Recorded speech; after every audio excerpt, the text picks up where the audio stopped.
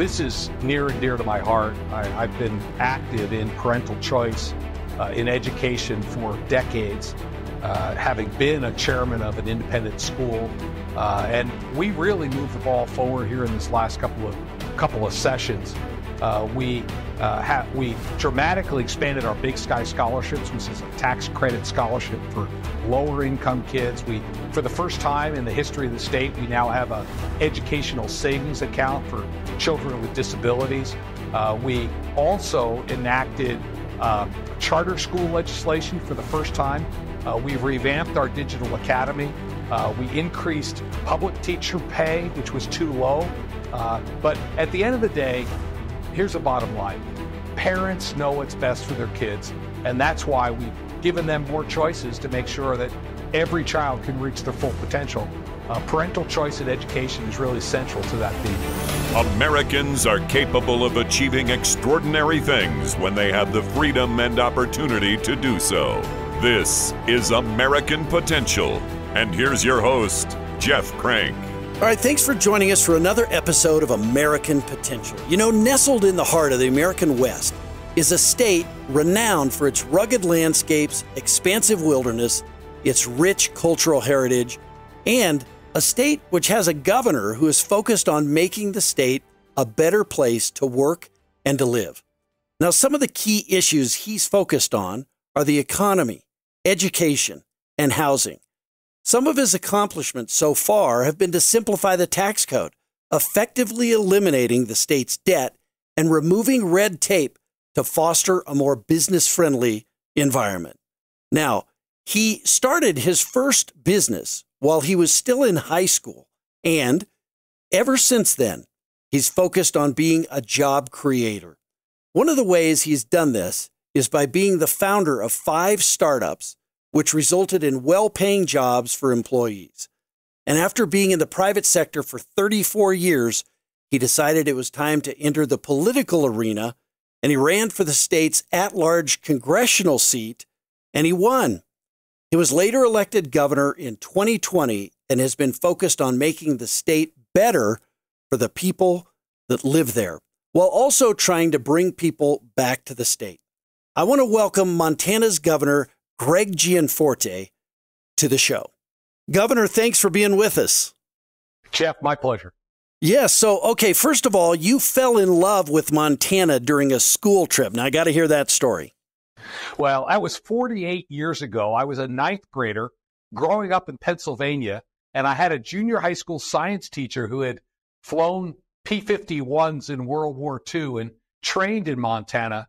Uh, he the only he fell in love first, and the only way he could get here every summer on a public school teacher's salary was to bring two van loads of ninth graders with him. So we drove all the way from Pennsylvania to Red Lodge, Montana in 1976.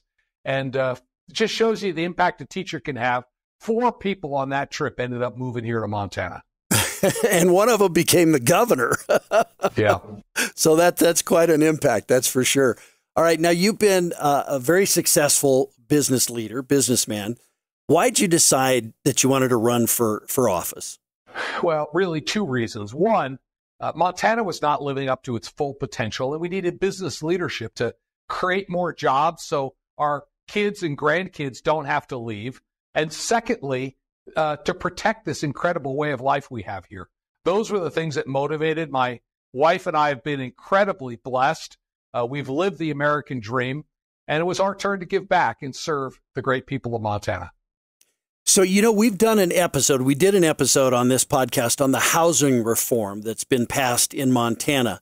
And it, it's, you know, it's really a model for other states to, to take a look at. And Montana kind of led the way in this, and you led the way in it. Why was it important to focus on that issue and talk about some of the results of those changes? Sure. I, I, I think affordability of housing, it's central to the American dream. Uh, and yet we had communities growing in such a way that housing was not attainable. It was not affordable. Prices were going up, in, in part because we had so many people moving here, uh, and we had to do something about it.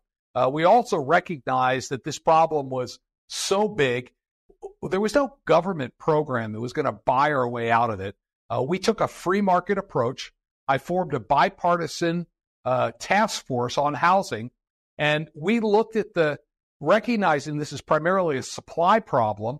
Uh, we worked to increase supply and to remove friction.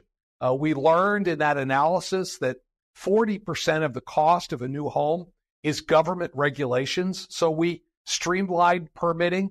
We got rid of exclusionary zoning. Uh, we restored property rights and allowed homeowners to build multifamily homes, to put uh, residents, uh, apartments in commercial districts. We authorized ADUs, auxiliary dwelling units. Uh, we also learned that all of the existing infrastructure funds that were available were restricted to urban renewal. They only allowed you to replace aging water and sewer systems. Uh, so we, out of our surplus, we created, uh, we uh, uh we asked for two hundred million dollars in a low interest revolving loan fund that would fund new water and sewer for subdivisions, provided there were at least ten units per acre. Uh, we also changed our apprenticeship rules to increase the number of carpenters and plumbers, and we're getting results. In two of our larger communities, uh, we've already seen vacancy rates on apartments go up significantly from a very constricted 1% uh, to over 6%.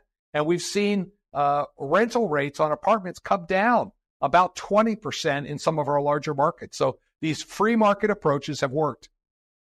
Well, you know, that's one of the things that this show is about. It's about removing government imposed barriers. And, and, you know, the government in, in, so many ways, whether it's the local government, state government, or the, certainly the federal government, creates these barriers. And, and, you know, the biggest barrier, uh, barrier of all is inflation that's being driven by the federal government and the overspending there. But th- this is such a great example of how a governor and a, and a legislature buying into that and, and, and you leading as governor can, can really make a difference in people's lives, removing those barriers. Are there other areas in Montana where you've done that as well? Well, we I, I think that individual Montanans can spend uh, their money better than the government can. That's why uh, we we enacted really conservative fiscal policies in 2021. Uh, we passed a budget that held the line on new spending. We funded all the essential services, uh, but we kept government spending growth to less than 1% in 2021, in 2022. That brought us into the 2023 legislative session with a huge surplus. We had uh, a two and a half billion dollar surplus on a budget that was only about $5 billion total. So a 50% surplus. Uh, we did a couple of uh, important things with that. First, recognize that it's not the state's money. We gave over a billion dollars back to the people of Montana in one time uh, tax rebates, but also uh, we permanently reduced tax rates uh, going forward. So now we have the fourth lowest capital gains rate in the country. We took 5,000 small businesses off the business equipment tax rolls by increasing the exemption to a million dollars for every business, and we lowered our income tax rate. The second thing we did with the surplus was we fixed what was broken. Our uh, prior administrations have been kicking the can down the road, so we fixed our prison. We invested in behavioral health. We put a lot of money into roads and bridges. We still had money left over, so we doubled our rainy day fund. And then we still had money left over, so we paid off all of our state debt. And I'm proud to tell you, Montana is now completely debt free. Well, and these are these are revolutionary changes that you've made. And I'll tell you, one of the things I really love about this story is that lots of times when politicians or you know governors or uh, uh, state legislatures find more money, they spend the money. But but uh, you did spend some of it, but you looked at this as an opportunity to really get this tax reform and really set Montana up for future growth and and the the, the, the future, didn't you? Yeah, we did some investing, but I will say uh, we invested in capital projects primarily related to maintenance. These are one-time right. expenses what we didn't want to do is plant acorns that grow mighty oaks that'll have need care and feeding uh, uh, on the on behalf of our children and grandchildren. So we used one-time money to take care of one time expenses and didn't grow the ongoing cost to government.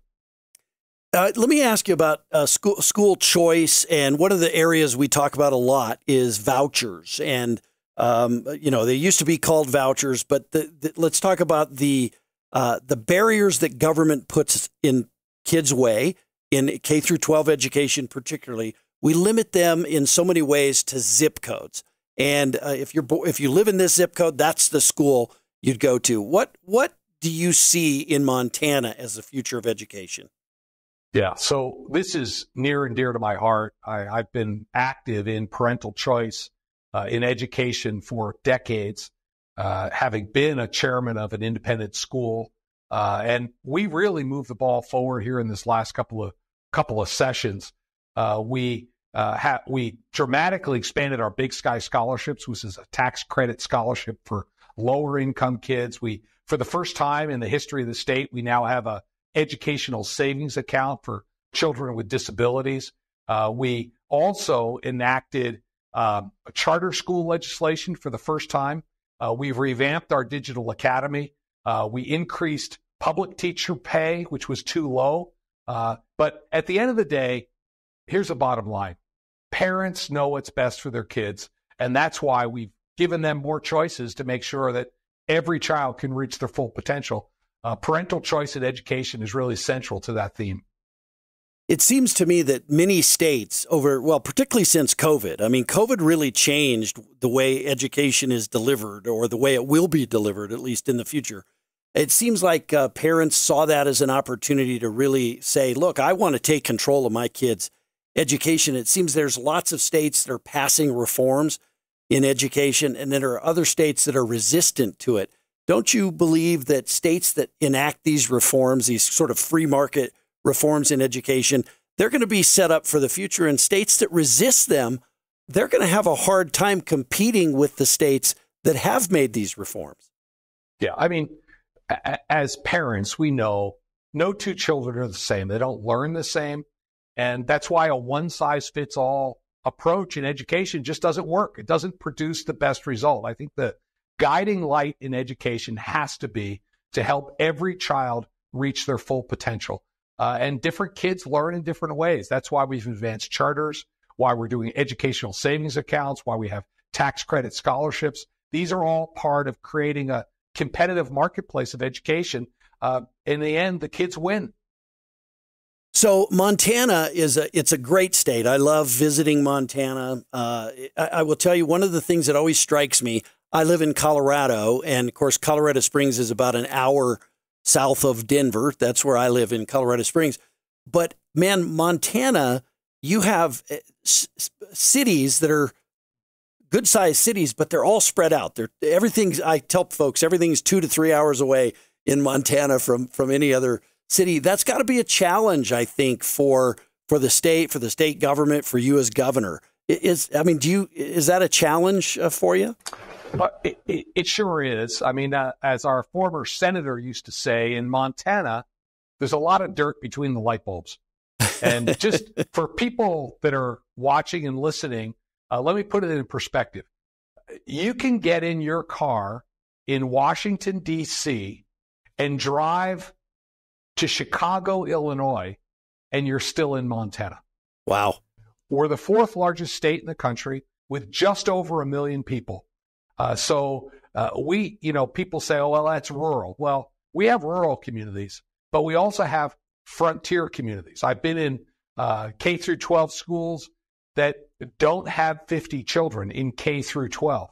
Uh, the the demands in those sorts of communities to provide a top notch education are challenging. That's why we've been investing in digital delivery of education. We've reformed this so that if the next Einstein is born in one of these frontier communities, uh, we can be sure that they have the best physics teacher or calculus teacher. And if the next Beethoven is vote, uh, born in one of these frontier communities, they have great uh, music composition instruction. Uh, with digital delivery, that allows that, but it, it means we have to change the way we do the classroom. Uh, we teachers are essential, uh, but they become more of educational coaches to help students reach their full potential while bringing in subject matter experts to make sure we have a full complement of coursework. Yeah. How does that affect uh, your transportation funding? I would assume that, that that that's a challenge as well when you have these cities that are so far away from each other. It does. I mean, we uh, most of the highway uh, construction stuff is funded with uh, federal federal highway funds. Uh, our, of course, our tax dollars come here. Fortunately, a lot of people come and visit here in the summertime, and most of the the gas tax that's spent buying uh, gasoline and diesel.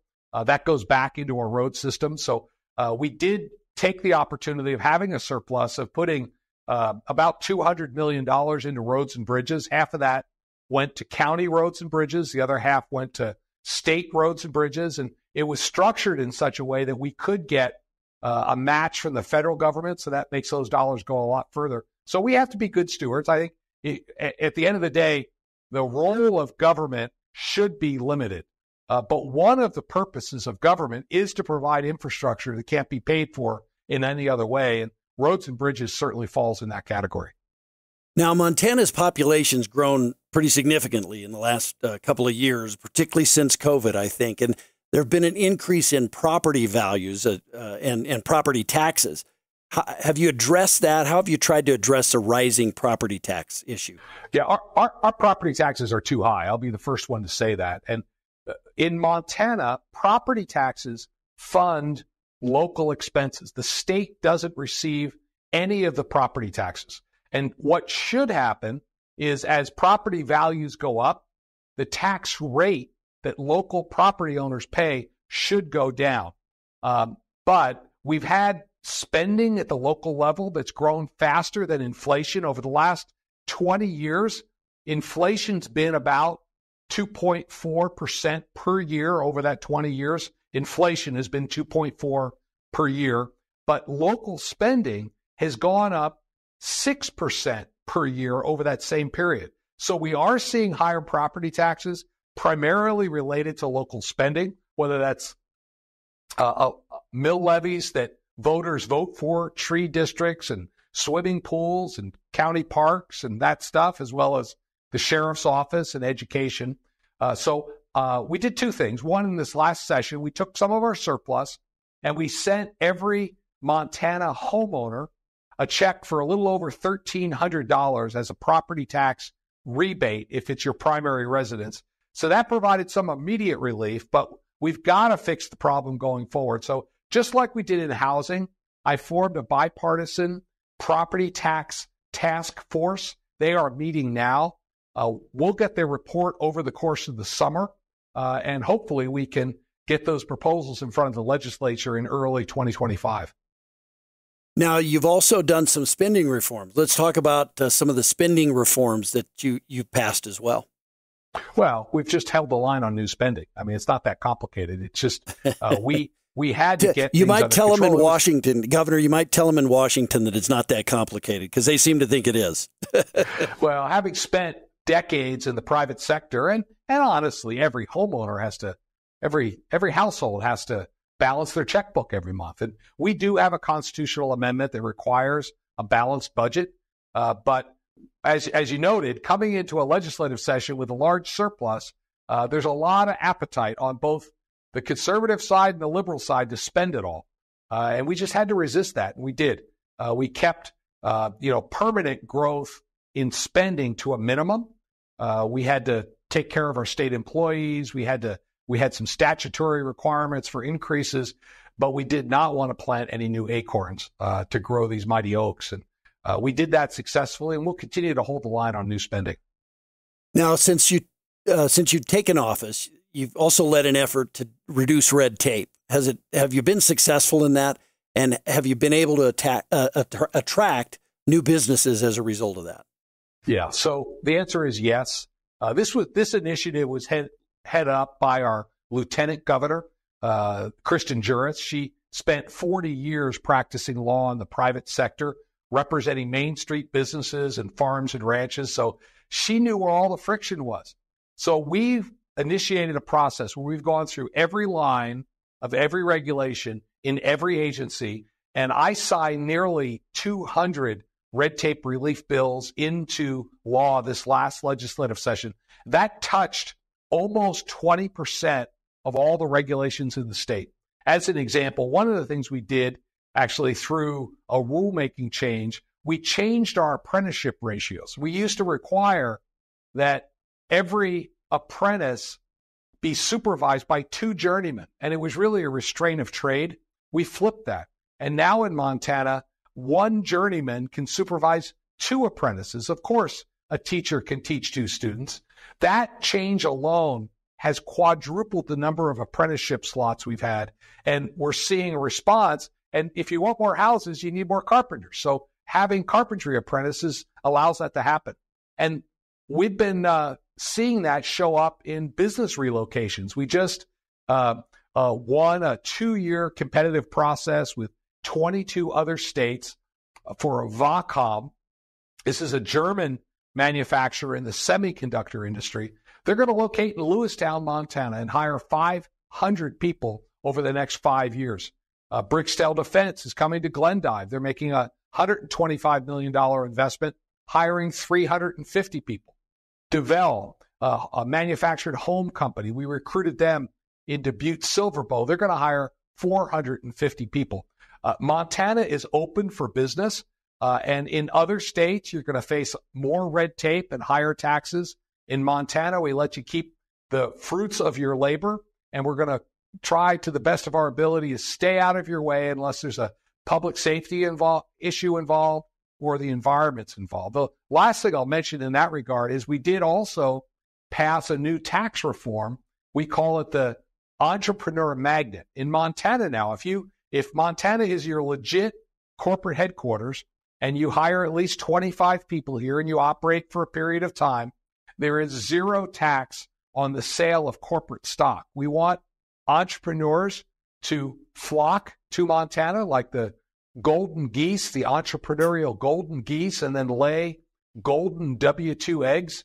Uh, and that's what this bill is all about. And that's very appealing to entrepreneurs to be able to keep the fruits of their labor. Well, it's remarkable what you've been doing. And I, you know, I, I just conjure up visions of the difference between Montana and, say, California or many of these other states that are moving in the completely wrong direction. Montana is for sure moving in the right direction under your leadership. You've got a lot of Montanans who, you know, grew up in Montana but had to leave the state. Are you trying to get some of them to move back to Montana? We are. We did some research and we we identified 120,000 people that uh, either grew up here or went to college here who no longer have a Montana address. So uh, we've been bombarding them with social media and direct mail, and it's really not a fair fight because we mail them brochures with people floating the rivers and skiing the hills and hiking the mountains and picnicking with families, and they're trapped in these concrete jungles. Uh, they know the quality of life, and we want them to come home and bring their Montana values with them. So we've been targeting these people, and it's been successful. And I, you make a contrast between us and other states like California.